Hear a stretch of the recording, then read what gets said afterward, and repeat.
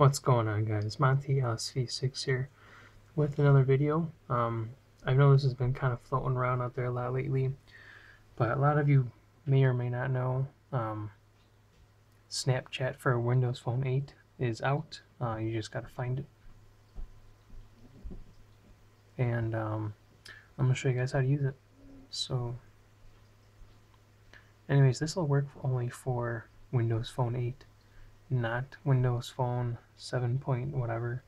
Um, this will only work for uh, Windows Phone 8. So anyways, you open up the App Store and you come to the screen. What you want to do is you want to go down the search down at the bottom and then you want to kind of want to type in Snapchat at the top there and I just hit enter and you'll come to this screen here and you can see it's going to be a third one down from the top. It's going to be the unofficial. If you can't see this, then you're not running Windows Phone 8. Okay. Uh, it's gotta be like the HTC 8X or the Lumia 920 or anything else that has Windows Phone 8 by default. Okay. So uh, just go ahead and install that, let it run, and um, once you do, go ahead and open up Snapchat. And then here's the sign-in screen. You can either, um, if you have accounts already, you can use your email address or username and sign in with the password. If not, just create an account. Uh, it's pretty easy, it's pretty straightforward and simple to do. Okay, now once you log in, this is the screen that you're going to see. You're going to see your camera, and you're also going to see your three main buttons down at the bottom. They are sensor for either the front or rear facing camera, and you're going to use capture, which is you know self-explanatory to capture the image, and snaps. Uh, snaps are the pictures that you receive and uh, send, and you got friends and settings down below. Now, once you click on friends, this is the screen that you're going to be shown. Okay. So you have your best, which is your basically like the people that you use the most. And down below that, you have recent, and then, you know, after that, it's just the alphabet letter blocks. And then in between that, you'll uh, be shown your friends list. Now at the top here, you have to type in their Snapchat name and an ad. Um, otherwise, if they request you, you won't know about it because it doesn't have notifications yet. So the only way for you to add people is you is for you to add them first. Okay, now here is the snap screen. Okay, now this is, now this has changed now because he did an update and um, it looks kind of different, but it's relatively the same. So at the top, you have your snaps. Uh, the first one where it says from is going to be from the person who sent it to you and see that little gift box with the bow on top? That means you haven't checked it yet.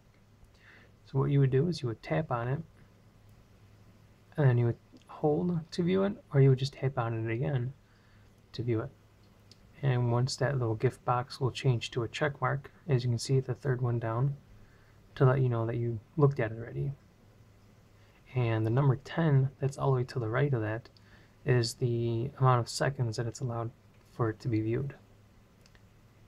Okay.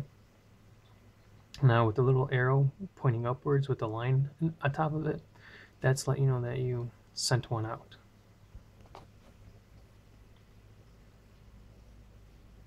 Now, if you when you capture an image, here's what's going to look like.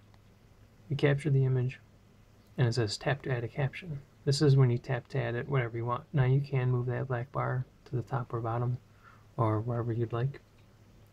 And then once you're done, you can either hit that little pencil icon on the top right to draw on it.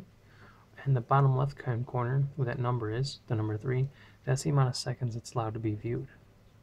So if you put in 3 seconds, they're only going to be able to see it for 3 seconds. And then, once you're done with all that, you're going to hit send. And once you hit send, you have um, you know your contacts to send it to. Uh, you, once again, you have your best, the people that you send it to most, uh, your most recent, and then you know so on and so forth with the contacts. Then you can do multiple people at once, If not, you can just send it to just one person at a time.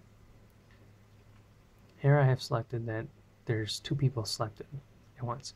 And then once you hit send, it's just going to send it to them. So that's uh, basically it, guys. Um, really nothing to it, more to it than that. Um, I know some people are having trouble, uh, a lot of trouble signing in and um, just trying using the, the app in general, but I find it really easy. Um, there is a time though where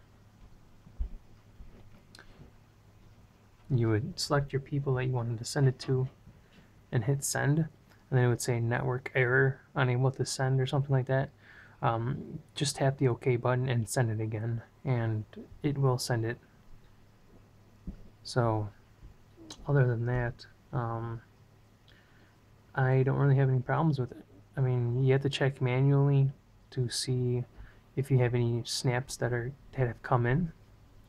And you can do that again by going to the main screen here and going to snaps at the top right there in the middle. Hit snaps and you'll come to this screen here to let you know uh, what snaps have come in and you know you can either exit the app or hitting the home button and just kind of leaving it open and hit the back arrow to uh, access it more easier. Um, other than that, don't have any problems with it. Um, I do Snapchat people on Androids and iPhones, so it is cross-platform, obviously. So, and it works with Windows. So if you guys have any comments, questions, or concerns, uh, go ahead and drop it down below. I'll answer it to the best of my ability and help you guys out. So if you have Windows Phone 8, go ahead and give this guy a shot. It's really fun. I like it. And make sure you uh, give the developer a good comment and rate it pretty well because he's working hard for this. And a lot of people are just giving him, you know, bad um, bad reviews because uh, they don't know how to work it. So I hope this video helps you guys out. And like I said, go and drop some comments down below if you need any help. Go and comment, rate, and subscribe this video. And uh, pass it along and help other people out.